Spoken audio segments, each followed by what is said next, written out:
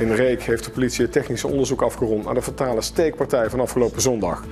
Een man stak zijn vrouw dood en hij stak ook zijn zoontje neer. Die ligt nog in kritieke toestand in het ziekenhuis. Bij het huis zijn bloemen en brieven achter de hekken gestoken.